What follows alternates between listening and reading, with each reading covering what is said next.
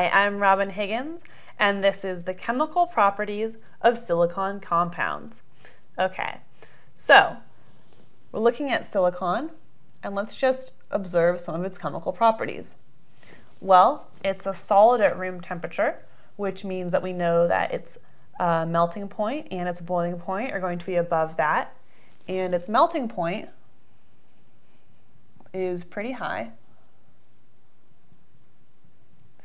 It's actually 1,414 degrees Celsius, so much, much hotter than you or I ever want to be. And its boiling point is obviously higher than that, and that's actually all the way at 3,265 degrees Celsius. So it's pretty stable as a solid on most of the temperatures that are on Earth. So other things about it, um, it's actually right under carbon on the periodic table.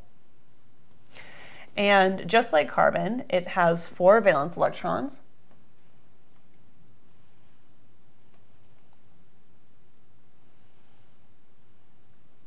So it is free to donate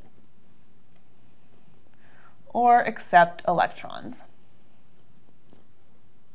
So it really has a lot of options of the types of bonds it wants to make because it can go either way.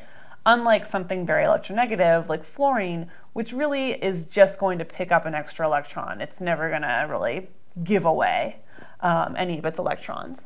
So um, an interesting fact about silicon is that it is more dense as its liquid stage than its solid phase.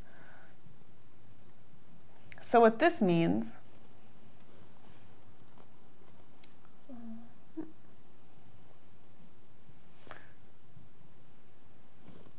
What this means is that just like how if you have a cup of water,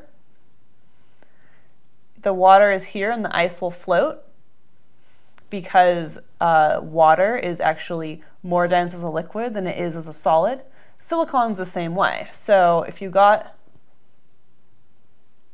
somewhere around here at this uncomfortable temperature for us and made silicon cubes and silicon liquid, they'd also float. And while this may seem kind of normal because we think about water, for the vast, vast majority of compounds, this is not the case, and the solid would sink to the bottom. Um, other things about silicon is that it's a semiconductor. And most of the time it has a gray color. I'm Robin Higgins, and this has been some of the chemical properties of silicon compounds.